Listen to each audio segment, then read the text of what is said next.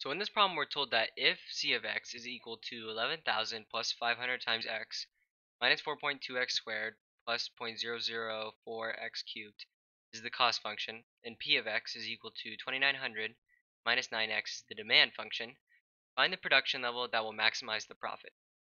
And so what we need to recognize here is that we have two functions. So let's write those out. So we have c of x, which is equal to 11,000 plus 500x minus 4.2x squared plus 0.004x cubed. And we're also given p of x. And so p of x is equal to 2900 minus 9x. And so what we need to do first is find r of x, so our revenue function. And so r of x is going to be equal to uh, x times p of x. So it's just going to be x times this function right here. So r of x is going to equal to x times 2900 minus 9x. So r of x equals 2900x minus 9x squared.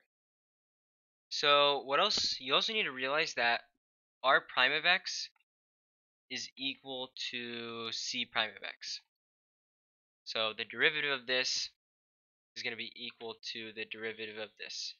So let's find the derivative of them and set it equal to 0. So the derivative of this is going to be 2900 minus 18x squared, or just 18x.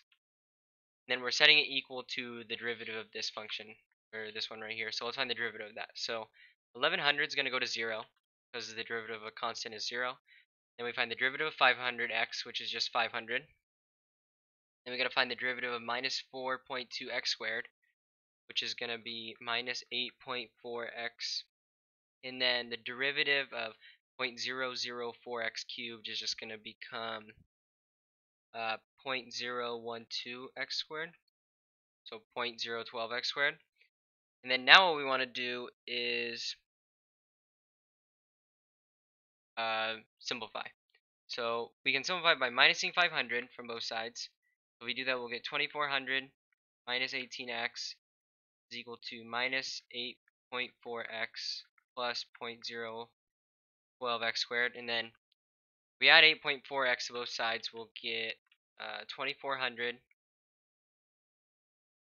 uh, minus 9.6x is equal to 0.012x squared. And then we want to just move everything on the same side. So let's just move these over there. So we're going to get 0.012x squared is equal or plus 9.6x minus 2400. So now that we got that, what we want to do is set this equal to 0, then uh, solve for x. So 0.012x squared plus 9.6x minus 2400 is equal to 0. And then so in order to make this uh, easier to solve, I'm going to multiply the whole thing by 1000 over 12. So this is just going to become x squared. So when we multiply everything by 1000 over 12, uh, this becomes x squared.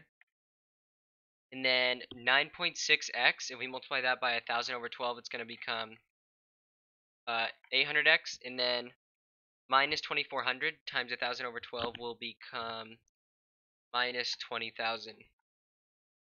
And then we have this equal to 0. Then we need a factor.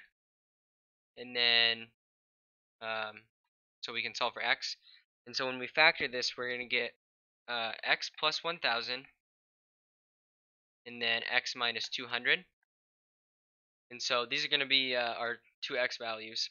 But so x is going to be equal to uh, minus 1000 and then 200.